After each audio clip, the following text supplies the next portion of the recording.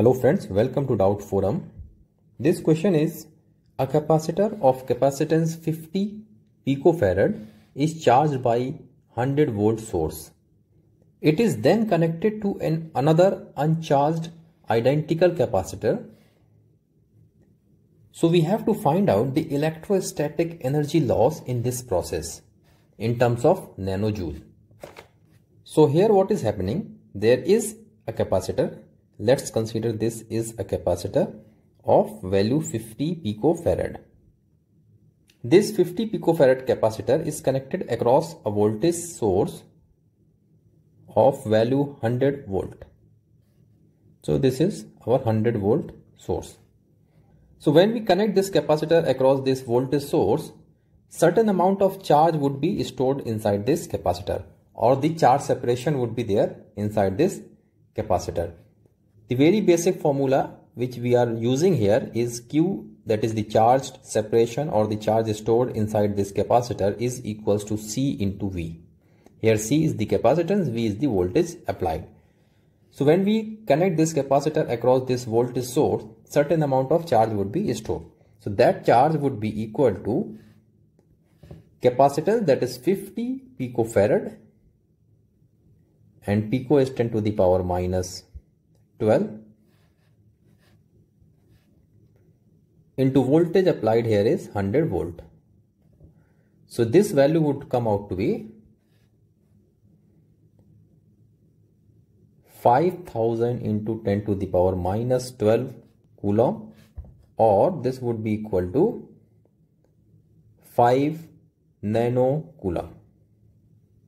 So this is the value of charge which would be stored inside this capacitor due to this 100 volt power supply. Now here in this question what is happening once this capacitor has stored this much of charge now what we are doing we are connecting this charged capacitor which is of 50 picofarad and having this much of charge stored inside across an identical uncharged capacitor. Identical means its value would also be equal to 50 picofarad but there is no charge stored in this capacitor.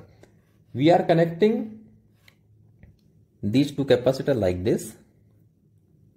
Now we have to find out the electrostatic energy loss in this process. So first of all, what we have to do, we have to find out the amount of energy which would be stored in this capacitor. And then we have to find, find out the electrostatic energy of this combination of capacitor. So in first case, the electrostatic energy inside a capacitor is given by half C into V square. This is the very basic formula. And we can replace these terms using this formula depending upon the known values. So here what we can do, we can find out the electrostatic energy stored in this capacitor. So this would be half. Value of C is 50 picofarad into square of the voltage. In first case, the voltage applied is of 100 volt. So we have to take the square. So this value would come out to be 25 into 10 to the power minus 12 into 10 to the power 4. And this would be equal to 25 into 10 to the power minus 8 or we can say this would be equal to 250 nanojoule. This is the electrostatic energy stored in this first capacitor when we applied a 100 volt source. And now what we have to do, we have to find out the electrostatic energy of this combination. So for electrostatic energy, what we will be doing? We will be using that same formula half CV square. In this case, the voltage is not known to us. So we will be replacing voltage using this formula.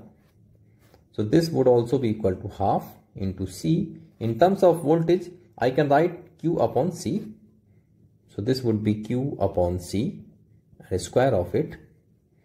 So the formula would come out to be half Q square upon C. because we are talking about this combination so in place of this C I will be writing C equivalent and its value would be half the charge stored in this system would be equal to 50 nanojoule because this capacitor is only having the charge. Initially this capacitor do not have any charge.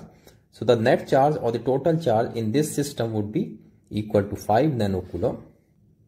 So this q square would be 5 nano coulomb square divided by C equivalent. The equivalent C of this combination would be 50 plus 50 that is 100 picofarad. So in place of C equivalent I will be writing 100 picofarad. So this value would come out to be half into 25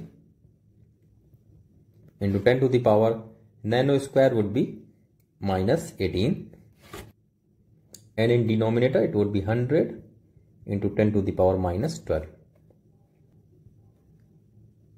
so this would be 25 divided by this 100 would make this as 10 to the power minus 10 so this would be 25 by 2 into 10 to the power minus 18 into 10 to the power plus 10 because this minus 10 would become plus 10 when we move it to towards the numerator. So this value would come out to be 12.5 into 10 to the power minus 8 or I can write it like 125 into 10 to the power minus 9 and this minus 9 is representing in nano. So this would be equal to 125 nanojoule. So here the electrostatic energy of this system is equal to 125 nanojoule while the electrostatic energy of this capacitor when this capacitor alone is connected across this voltage source has is come out to be 250 so the energy loss would be 250 minus 120 so energy loss during this process would be equal to 250 minus 125 and this would be equal to 125 nanojoule. So this would be its answer. So let me quickly revise this question first. Initially what is happening there is a 50 picofarad capacitor which is connected across 100 volt power supply because of which certain amount of charge separation would be created inside this capacitor and its value would come out to be 5 nanocoulomb.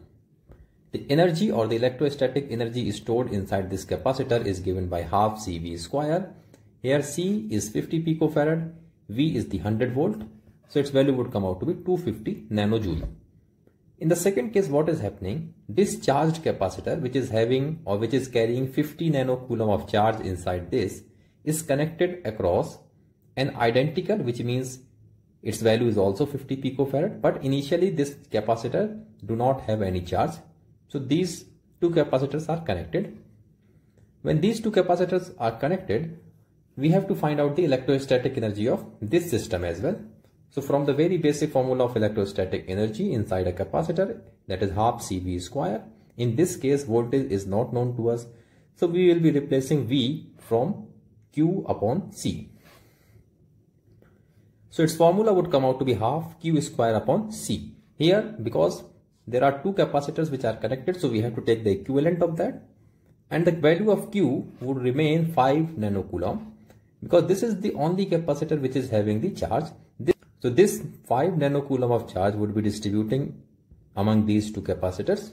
So that would be the value of charge. So we, we will be keeping 5 nanocoulomb in place of q and then square of that. C equivalent because both the capacitors are connected in parallel so its value would be 100 picofarad.